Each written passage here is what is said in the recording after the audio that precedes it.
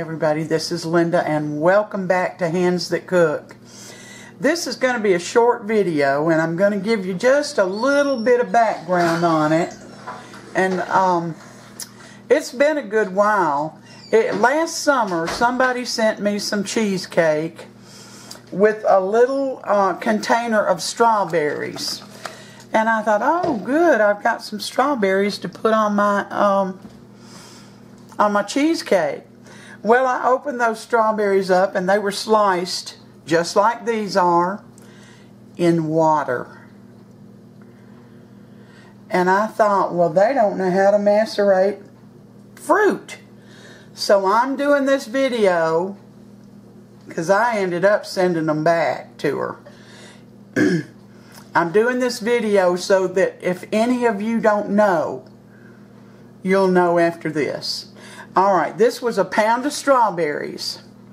And I washed them, I hulled them, and I sliced them. And I put them in a bowl. This is so simple. Now, all you do, you start out with like a quarter of a cup of sugar. And you sprinkle that on your strawberries. Is that a quarter? Yeah, a quarter of a cup. Then I'm going to just take a spoon. I'm going to stir them so that I get all this sugar uh, evenly distribute, distributed. Don't make me say that again. And uh, I'm going to cover it and I'm going to let it sit about 30 minutes. And then I'll bring you back. Alright, these have been sitting out on the counter, covered, for 30 minutes. And I'm going to give it a stir, and you can see that it is releasing its juices. And what macerate means, macerate, is to become weak and soft. So it softens the strawberries and it the sugar causes it to release juices. And this is what you put on your dessert or fruit cake. Fruit cake.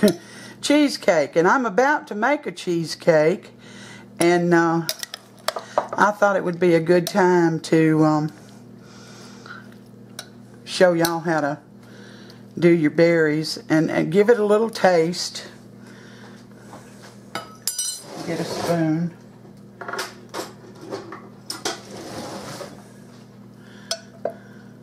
See if they're uh, sweet enough. If they're not sweet enough, just add a little more sugar. It's not going to hurt anything. A little more sugar, not much. Mmm. These are perfect. Now, if you don't want them left in slices, get your potato masher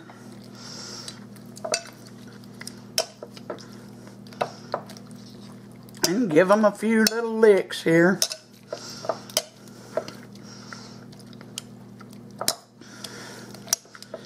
And it'll mash them up even further. And I don't want all of them squashed. But that's it. That's all there is to it. But without doing that, you're not going to have a good um, juicy strawberry to put on your dessert. Now after it sat out and released its juices, you see even more coming out. More juices. Hold on. Sorry. Um, they're ready to go in the refrigerator to cool down. They're not hot to begin with, but I mean to become cool to put on top of anything. They don't need to stay out on the counter unless you're going to use them right away. Come on. And that's it. That's all there is to it. So that, uh, you know, you'll have something that tastes really good to put on your dessert. So that's all there is. Thank you for coming in and spending part of your day with me. I always appreciate it. Please like and subscribe if you haven't. It only takes a minute. Hit that little bell that comes up, and um, you'll be notified every time I upload a new video. So until next time, you all take care, and God bless every one of you.